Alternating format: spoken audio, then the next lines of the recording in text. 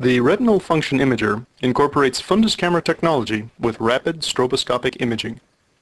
The RFI analyzes the high-quality image sequences it obtains to extract hidden detail, revealing, as just one example, blood flow in the retinal vasculature.